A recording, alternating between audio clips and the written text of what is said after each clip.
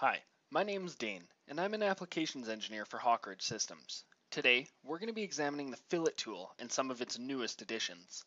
Something new in 2016 is the curvature continuous profile for the edge fillet. This profile creates a C2 curve in relation to the two faces it is connecting.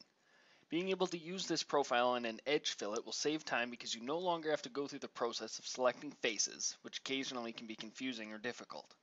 The curvature continuous profile is available for constant size, variable size, and face fillet types for all the parameters. Right now, I'm toggling between the circular and curvature continuous profile. The change is subtle, but sometimes that's all a design needs.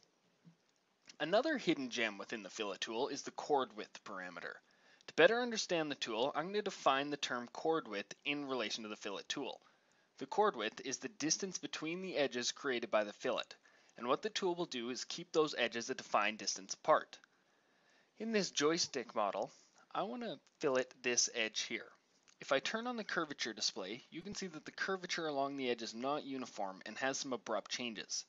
These changes in curvature might cause issues for most of the fillet parameters. So I'm first going to do a symmetric edge fillet to display that point. The inflection point along the bottom edge is caused by the change in curvature at that location and it's causing the chord width to change. As you can see at the top it's wider and it tapers down at the bottom.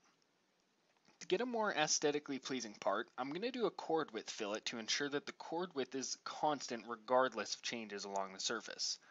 So instead of an edge fillet, I'll need to do a face fillet in order to access the chord width parameter. As you can see, the symmetric face fillet has the same outcome as the edge fillet, but when I switch to the chord width parameter, a visually appealing fillet is created. The chord width is now constant across the fillet, which results in a smoother curvature at the bottom of the fillet. Here's a comparison of the two features. As you can see, the chord width fillet has a smooth transition along its length, and the bottom of the fillet is all green. But with the edge fillet, you can see the abrupt changes in curvature as the color changes from red to blue. In this video, I answered the question, what is a chord width fillet and when should I use it? I also mentioned the new curvature continuous profile within the edge fillet. If you like this video, found the information useful, or want to see others like it, please subscribe to our channel.